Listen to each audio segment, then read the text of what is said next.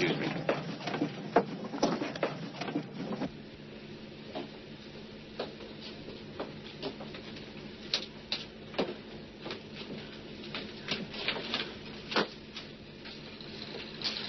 We have made a decision among the mothers. To send the children back to Karaolis now will show weakness. The British will see that we are not serious people aboard this ship. It does not matter what the British think. They cannot take the responsibility for letting children starve to death. We will take the responsibility. We will not send them back, and we will not go back with them. I am sorry, Mrs. Frankel. The children must go back. You can go back if you want to with them. So that's a Haganah order. You're an important man, Mr. Ari Ben Canaan, but you know nothing. Look at these babies of mine. Born behind barbed wire. For the first time, they don't have to look out through a fence like little animals. They are free now, and nobody, no Englishman, no Haganah, will ever lock them up again. Look at Mrs. Hirschland here. Hers will be the first. When she has no more milk to give, tell him. I will not take him back to Karaolis. He'll go to Palestine with me. Or right here on this ship we will die together. I will not take him back. I will not take him back.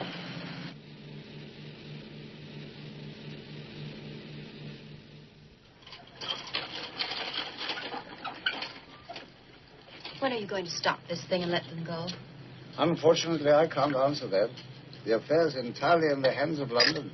But you don't like what's going on. You know how wrong it is. Why don't you say so? Why don't you make a public statement about it? I can't do that, Kitty. I'm a soldier. I know you're a soldier. But you're also a Jew. And all those people out there are Jews, too.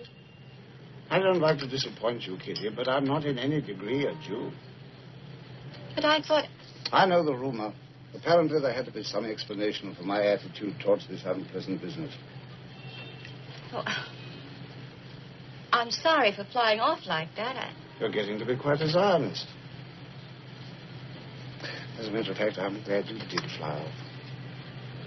You asked how I, as a Jew, could let this happen to other Jews. Now I find myself asking, how can any man let it happen? Jew, Gentile, Buddhist, Mohammedan. No matter what he is.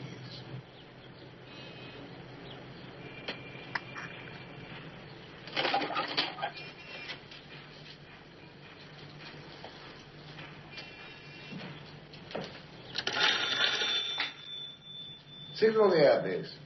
I'm flying to London within the hour.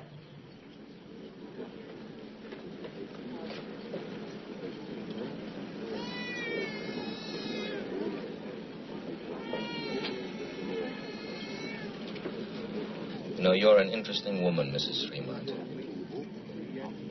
Sutherland won't let one member of the press come aboard, and you shuttle back and forth like a carrier pigeon. I know you suspect me, and I know nothing I say can make you trust me. But I wanted to tell you that General Sutherland has left for London. He understands your situation, and he is trying to help. Thanks. Is that all? I heard of Dr. Odenheim's death. I'm a trained nurse, and I worked with him at Karaolis. If I can be useful, I'd be glad to stay aboard. Without food? I think I can go without food as long as you. I'm glad to have you on board, Mrs. Fremont. Glad to be aboard, Mr. Ben.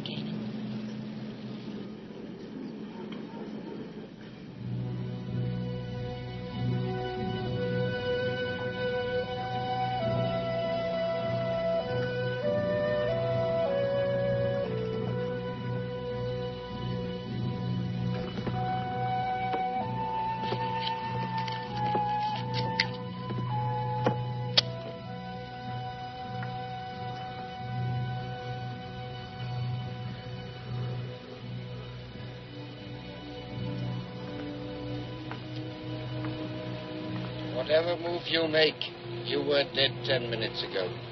I asked for an opinion from Romania.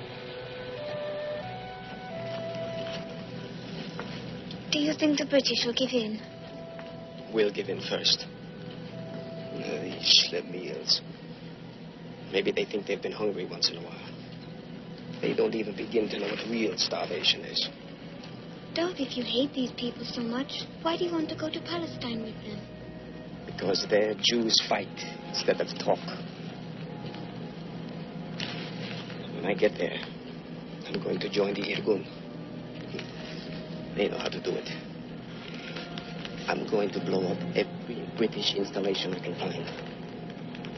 I'm going to kill Englishmen. Kill and kill and kill them. Till there won't be any more, that's all. The British aren't all bad, Dov. They're rotten, the whole bunch of them. British, all the Russians, all the Poles, and all. Not the Danes when I was No, the Danes, too. Don't tell me. That's not true. The Hansons were Christians and they adopted me. One exception. One little exception. That proves something. There are lots of exceptions. You just listen to me for a minute, Dov. When the Nazis marched into Denmark, they ordered every Jew to wear a yellow armband with the Star of David on it. And That's when the they... worst thing that can happen to a Jew. I said, listen. You don't know what you're talking about. And the next morning, when every Jew in Denmark had to wear his armband, King Christian came out of Amalienborg Palace for his morning ride. And do you know something? He wore the Star of David on his arm. But why should... And do you know something else? By afternoon, everybody was wearing Stars of David.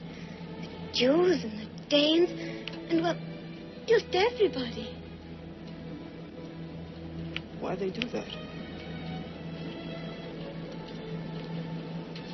If you if you don't just know why they did it, Dolph,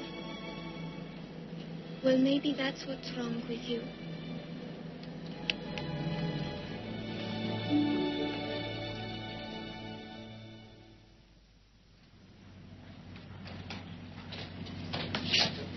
Get the Olympia. I want to talk to them. Yes, sir. Control headquarters calling the Olympia. Control headquarters to Olympia. Do you hear me? This is the Exodus. Stand by for Major Caldwell. You're no longer interested in your last book, Mr. Lakovich. We pause for politics. General Sutherland, at his own request, has been relieved of his duties on Cyprus. I have just received a message from the Colonial Office. I quote His Majesty's government, having no desire to witness needless suffering, grants permission for the Olympia to sail to Palestine and to disembark its passengers at the port of Haifa. That is all.